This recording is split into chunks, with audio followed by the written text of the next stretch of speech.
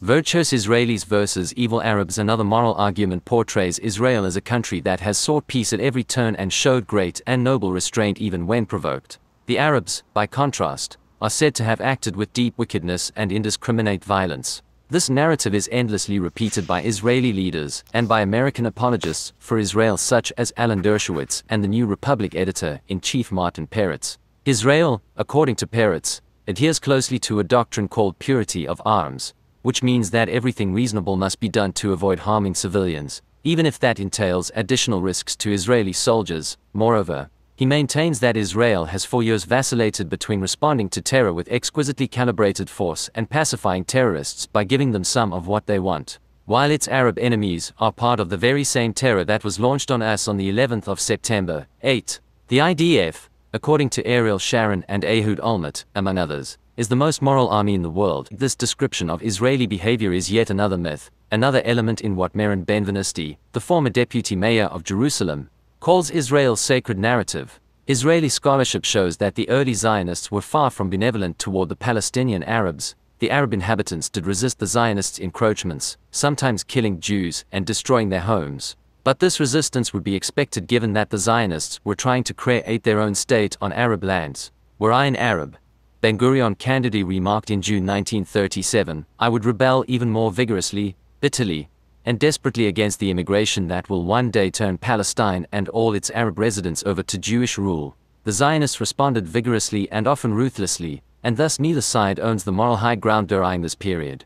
This same scholarship also reveals that the creation of Israel in 1948 involved explicit acts of ethnic cleansing, including executions, massacres, and rapes by Jews. Of course, Zionist leaders did not tell their troops to and murder and rape Palestinians, but they did advocate using brutal methods to remove huge numbers of Palestinians from the land that would soon be the new Jewish state. Consider what Ben Gurion wrote in his diary on January 1, 1948, at a time when he was involved in a series of important meetings with other Zionist leaders about how to deal with the Palestinians in their midst. There is a need now for strong and brutal reaction.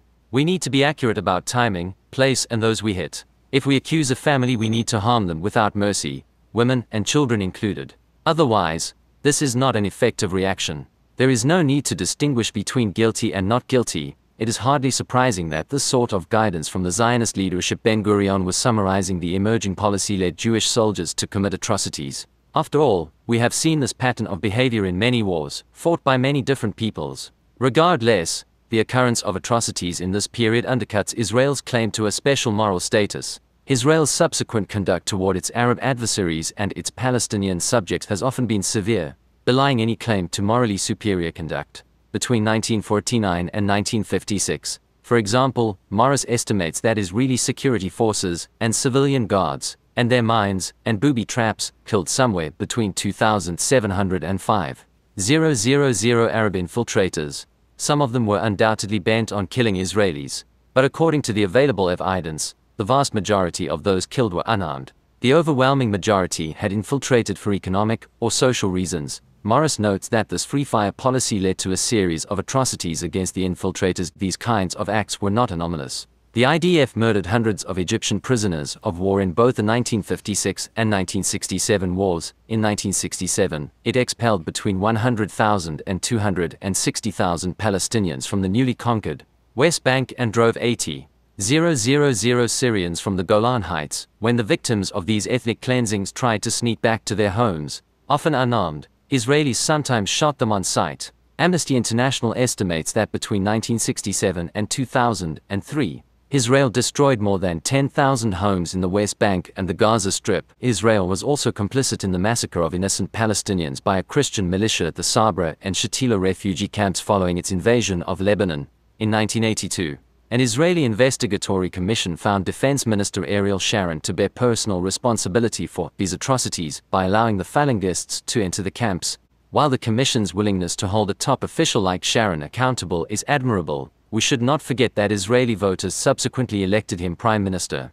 Israel has now controlled the West Bank and Gaza for 40 years, making it, as the historian Perry Anderson notes, the longest official military occupation of modern history, DEG, when the occupation began, Benny Morris explains, Israelis like to believe and tell the world that they were running an enlightened and benign occupation, qualitatively different from other military occupations the world had seen.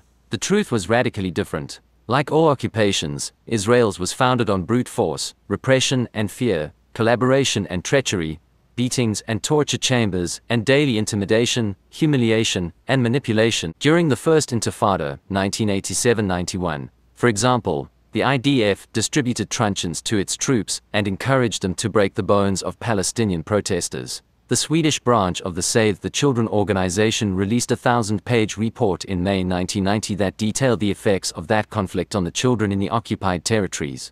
It estimated that 23,600 to 29,900 children required medical treatment for their beating injuries in the first two years of the First Intifada. Moreover, it estimated that almost one third of the children were 10 years or under, one fifth were 5 and under, more than four fifths had been beaten on their heads and upper bodies, and at multiple locations, and almost one third of the children sustained broken bones, including multiple fractures. Ehud Barak, the IDF's deputy chief of staff during the first Intifada, said at the time, We do not want children to be shot under any circumstances. When you see a child, you don't shoot. Nevertheless, Save the Children estimated that 6,500 to 8,500 children were wounded by gunfire during the first two years of the Intifada. Regarding the 106 recorded cases of child gunshot deaths, the report concluded that almost all of them were hit by directed not random or ricochet gunfire. Almost 20% suffered multiple gunshot wounds. About 12% were shot from behind. 15% of the children were 10 years or younger. Most children were not participating in a stone throwing demonstration when shot. And nearly one fifth of the children were shot dead while at home or within 10 meters of their homes. Israel's response to the Second Intifada, 2000-05, was even more violent, leading the Israeli newspaper Haaretz to declare that the IDF is turning into a killing machine whose efficiency is awe-inspiring, yet shocking. The IDF fired 1 million bullets in the first days of the uprising, which is hardly a measured response over the course of that uprising. Israel killed 3,386 Palestinians, while 992 Israelis were killed by the Palestinians, which means that Israel killed 3.4 Palestinians. For every Israeli lost, among those killed were 676 Palestinian children and 118 Israeli children. Thus, the ratio of Palestinian to Israeli children killed was 5.7 to 1. Of the 3,386 Palestinian deaths, 1,815 were believed to be bystanders, 1,008 were killed while fighting the Israelis, and the circumstances of 563 deaths are unknown.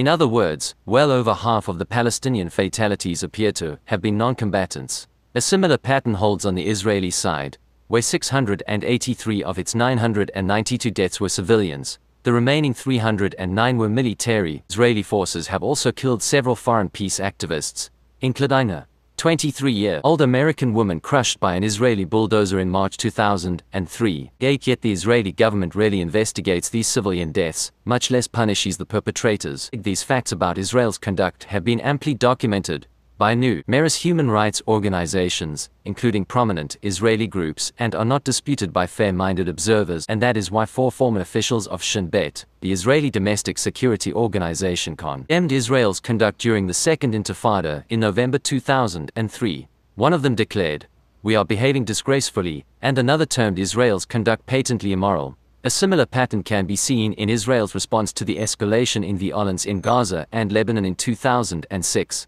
the killing of two Israeli soldiers and the capture of a third by Hamas in June 2006 led Israel to reoccupy Gaza and launch airstrikes and artillery fire that destroyed critical infrastructure, including the electric power station that provided residents of Gaza with half of their electricity. The IDF has also killed hundreds of Palestinians since moving back into Gaza, many of them children. This dire situation led the UN High Commissioner for Human Rights, Louise Arbour, to proclaim in November 2006 that the violation of human rights in this territory is massive. Likewise, when Hezbollah units crossed the Israeli-Lebanese border in July 2006 and captured two IDF soldiers and killed several more, Israel unleashed a bombing campaign that was designed to inflict massive punishment on Lebanon's civilian population by destroying critical infrastructure like roads, bridges, gas stations, and buildings. More than 1,000 Lebanese died, most of them innocent civilians. As discussed in Chapter 11, this response was both strategically foolish and a violation of the laws of war.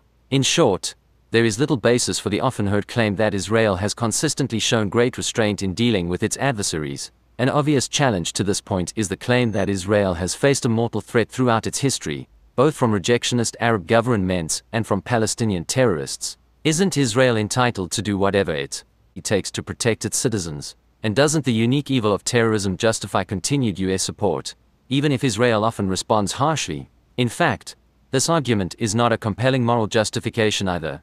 Palestinians have used terrorism against their Israeli occupiers as well as innocent third parties. Their willingness to attack civilians is wrong and should be roundly condemned. This behavior isn't it surprising, however, because the Palestinians have long been denied basic political rights and believe they have no other way to force Israeli concessions. As former Prime Minister Barak once admitted, had he been born a Palestinian, he would have joined a terrorist organization.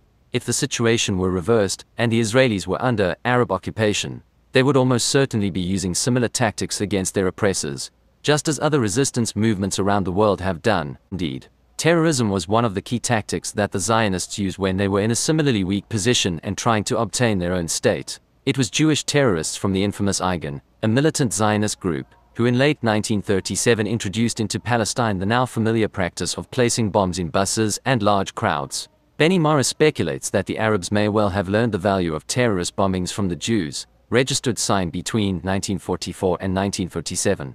Several Zionist organizations used terrorist attacks to drive the British from Palestine and took the lives of many innocent civilians along the way. Israeli terrorists also murdered the UN mediator Count Folke Bernadotte in 1948. Because they opposed his proposal to internationalize Jerusalem, perpetrators of these acts were not isolated extremists. The leaders of the murder plot were eventually granted amnesty by the Israeli government and one of them was later elected to the Knesset.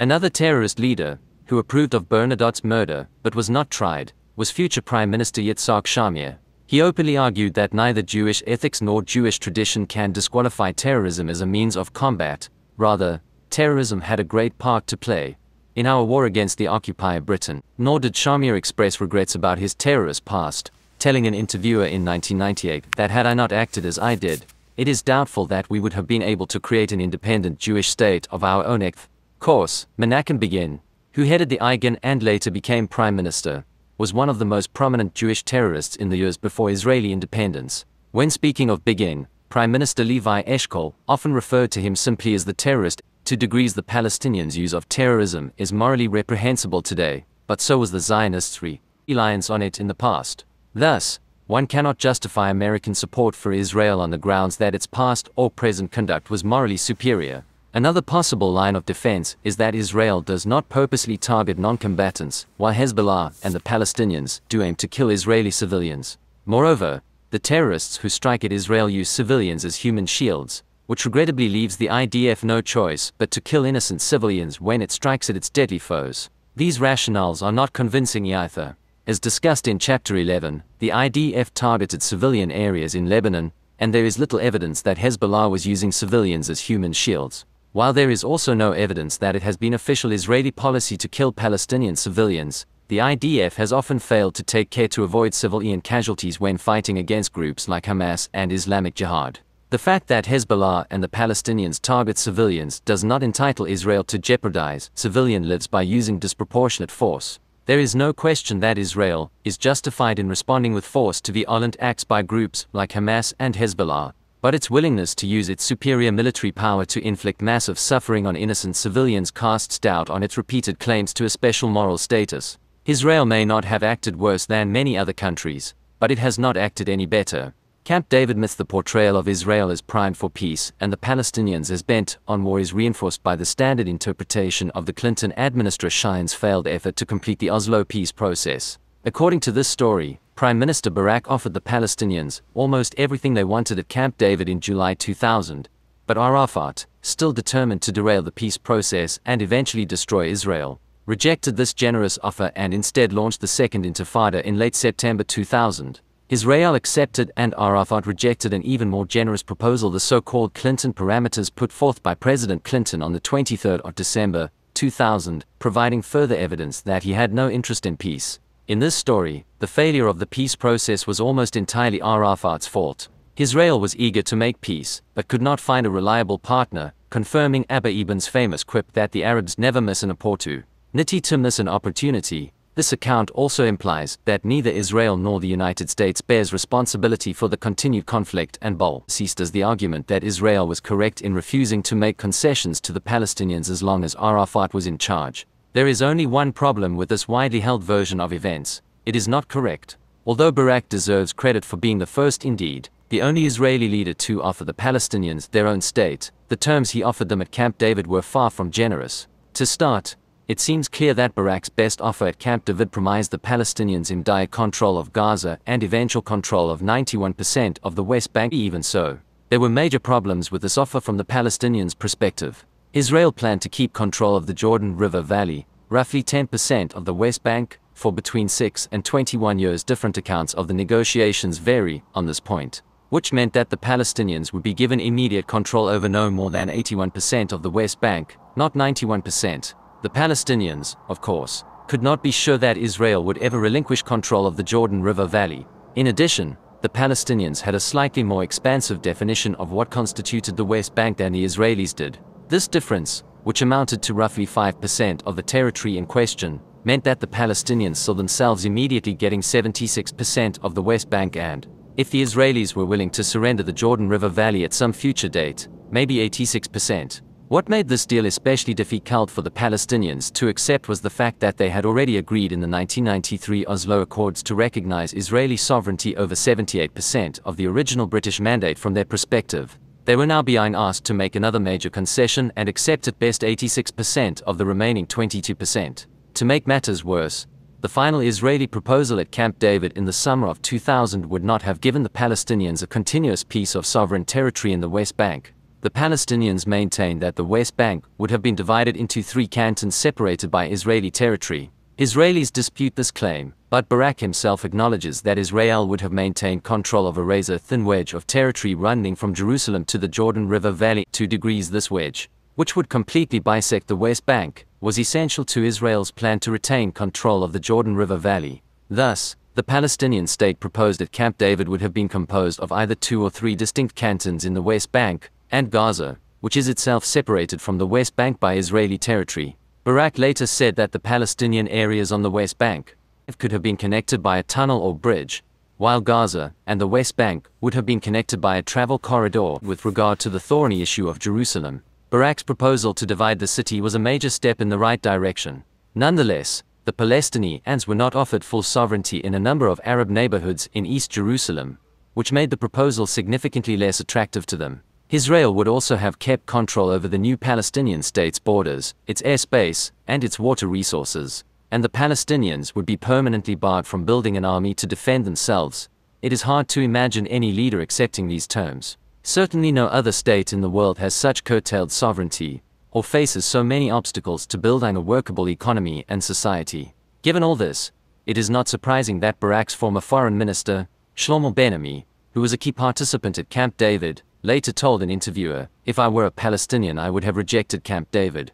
As well, the common claim that Arafat launched the Second Intifada in late September 2000 either to enhance his leverage in the negotiations or to destroy the peace process itself does not stand up against the evidence either. He continued negotiating with the Israelis and the Americans after Camp David, and he even visited Prime Minister Ehud Barak's home a few nights before the violence broke out. According to Charles Enderlin, a French journalist who has written an important book on the failure of these negotiations. The two leaders were uncharacteristically friendly and optimistic about the negotiations that evening. Deg, moreover, the former head of Shin Bet, Ami Ayalon, has stated that Arafat neither prepared nor triggered the Intifada exclamation point. 3. The so-called Mitchell Commission, headed by former U.S. Senator George Mitchell and charged with restarting the peace process, reached the same conclusion. The Second Intifada broke out shortly after Ariel Sharon visited the Temple Mount, Judaism's most holy site, on the 28th of September 2000. He had to be accompanied by more than a thousand Israeli police, because Muslims consider that same site, the location of the Al-Aqsa Mosque, to be the third holiest site in Islam. But Sharon's provocative move was only the precipitating cause, not the root cause, of the violence.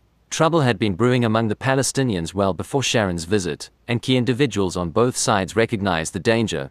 In fact, Palestinian leaders asked American and Israeli officials to bar Sharon's visit precisely because they anticipated a violent reaction and wanted to prevent it. Part of the problem was the Palestinians' growing dissatisfaction with the Arafat, whose corrupt leadership had done little to improve their lives, much less deliver a state. But the main cause was Israel's provocative policies in the occupied territories, compounded by its harsh response to the demonstrations that immediately followed Sharon's visit. 1 Ben. Ami is exactly right that the Second Intifada did not start merely as a tactical move. It erupted out of the accumulated rage and frustration of the Palestinian masses at the colossal failure of the peace process since the early days of Oslo to offer them a life of dignity and well-being, and at the incompetence and corruption of their own leaders in the Palestinian Authority. The Palestinians' frustrations are not hard to fathom. Between the start of the Oslo peace process in September 1993 and the outbreak of the Second Intifada seven years later, Israel confiscated more than 40,000 acres of Palestinian land, built 250 miles of bypass and security roads, established 30 new settlements, and increased the settler population in the West Bank and Gaza by almost 100,000, which effectively doubled that population Dead the Israelis also reneged on promises to transfer territory back to the Palestinians and created a system of checkpoints that sharply reduced the Palestinians' freedom of movement and badly damaged their economy. The Palestinians were primed to explode by 2000, and when they did, the Israelis unleashed their superior firepower with scant restraint. The IDF, is noted, fired more than a million bullets in the first few days of the uprising.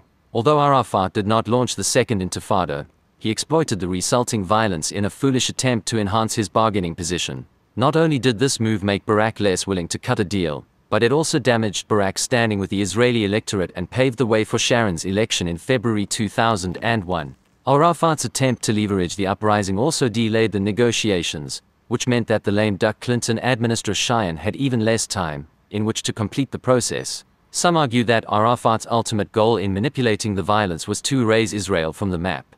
That was certainly his goal when he first emerged on the world stage in the 1960s, but he recognized by the late 1980s that there was no way that the Palestinians could make Israel go away. Arafat went to some lengths in the 1990s certainly by participating in the Oslo peace process to make clear that he accepted Israel's existence and that his struggle with Israel was over control of the occupied territories, not all of historic Palestine when Camp David failed and the Second Intifada began. Almost all of Israel's key intelligence figures believe that Arafat accepted Israel's existence and merely sought a Palestinian state in the West Bank and Gaza furthermore. As the Middle East specialist Jeremy Pressman points out, if Arafat and the Palestinians were determined to eliminate Israel, they would have accepted Barak's offer and used the new state as a launching pad for the elimination of Israel. But instead they negotiated as if they expected to abide by any agreements and live for the long term within the framework of a two-state solution. Finally, the oft-repeated claim that Arafat rejected the December 2000 Clinton parameters, which did improve on Barak's last offer at Camp David, is also wrong. The official Palestinian response thanked Clinton for his continued efforts, declared that considerable progress had been made, asked for clarification on some points, and expressed reservations about others. The Israeli government also had its own reservations about the proposal, which Barak outlined in a 20-page single-spaced document, Thus, both the Palestinians and the Israelis accepted the Clinton parameters and saw them as the basis for continued negotiation, but neither side accepted them in toto. The White House spokesman Jake Siewert made just this point on the 3rd of January, 2001, when he said that both sides have now accepted the president's ideas with some reservations. And Clinton confirmed this point in a speech to the Israel Policy Forum for days later exclamation point, for negotiations between Israelis and Palestinians continued at Taba, Egypt, until late January 2001, when Ehud Barak, not Arafat, broke off the talks. With elections in Israel imminent and public opinion there running strongly against the talks, Barak felt that the clock had run out on him. His successor, Ariel Sharon, who was adamantly opposed to the Oslo peace process, as well as the Clinton parameters, refused to resume negotiations despite repeated Palestinian requests. We will never know if peace was within sight by early 2001, but the charge that Arafat and the Palestinians rejected a last chance for peace and chose violence over reconciliation is false. Supporting Israel is God's will there is a final moral claim that some say justifies the close embrace between the United States and Israel. As discussed in more detail in Chapter 4, some evangelical Christians, especially so-called Christian Zionists view the establishment of the Jewish state as the fulfillment of biblical prophecy. Genesis says that God gave Abraham and his descendants the land of Israel. By colonizing the West Bank, Jews are merely taking back what God gave them. Some Christians also see the creation of a greater Israel as a key event leading to the end time final battle depicted in the New Testament's book, the of Revelation.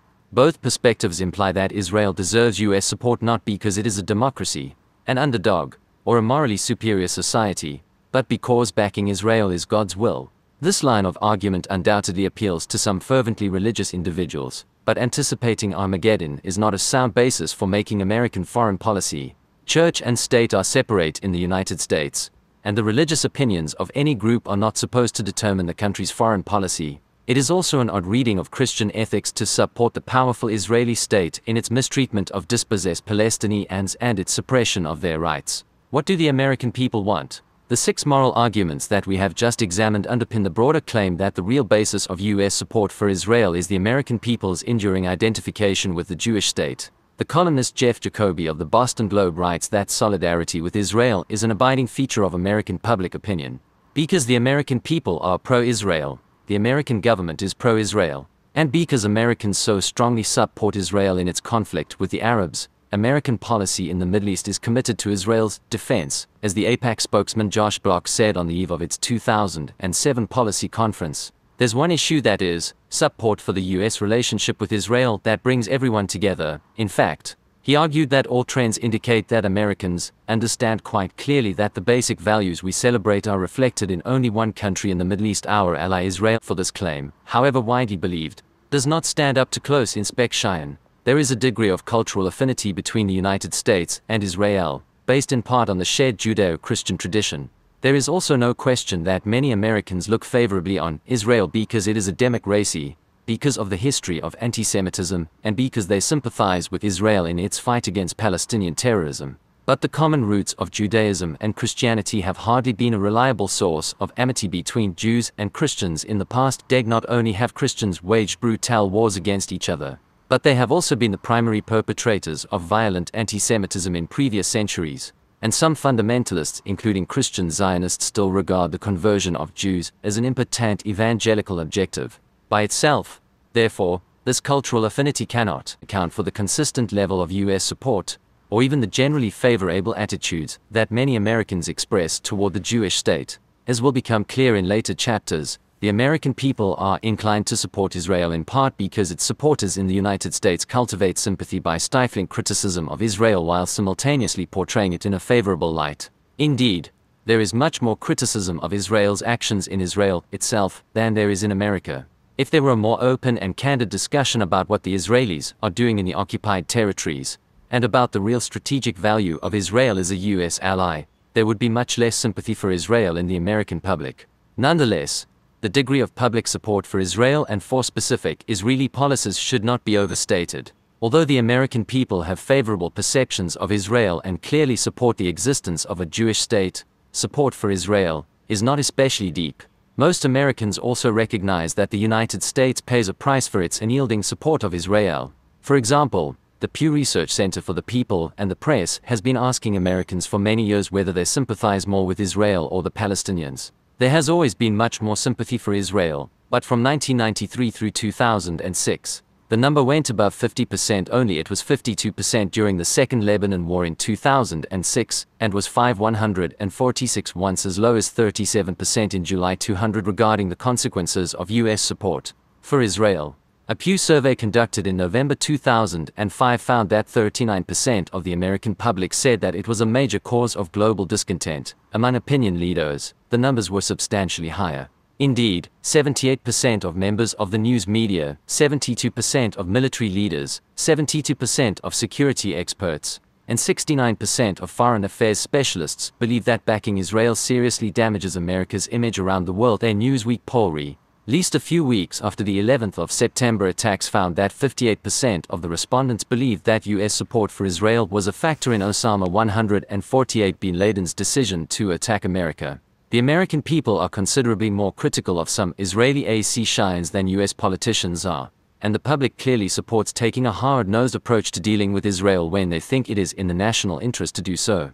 As we explain in Chapter 7, a survey in the spring of 2003 showed that 60% of Americans were willing to withhold aid to Israel if it resisted US pressure to settle its conflict with the Palestinians. In fact, 73% said the United States should not favor either side in the conflict exclamation point 42 two years later the Anti-Defamation League found that 78% of Americans believed that Washington should favor neither Israel nor the Palestinians. Andrew Kohut, the director of the Pew Research Center for the People and the Press, points out that average Americans see shades of gray in the Middle East conflict, and their sympathies notwithstanding, they favor a neutral role for the United States. Unlike their leaders, the American people displayed a tough-minded approach to dealing with Israel during the Lebanon War in 2006. As discussed in Chapter 11, polls showed that slightly more than half of the public thought that Israel was either equally responsible or mainly responsible for the war. And in at least two polls, more than half of the respondents said that the United States should not take sides, DEG.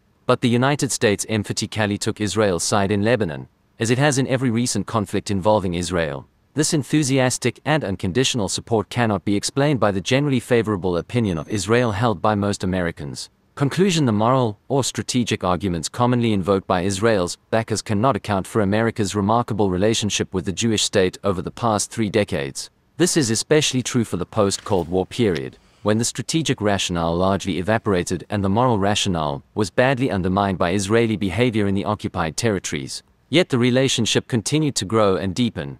Some Americans surely do not find this situation anomalous as they sincerely believe that there are powerful moral and strategic reasons behind US support for Israel.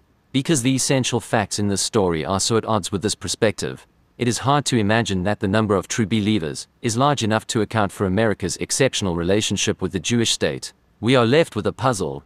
Either a relatively small number of true believers are exerting a disproportionate influence on US foreign policy, or they have managed to persuade lots of other people, especially key politicians and policymakers, that these flawed rationales are in fact correct. Because the strategic and moral case is increasingly weak, something else must be behind the striking pattern of ever increasing US support. We address that issue in the next chapter.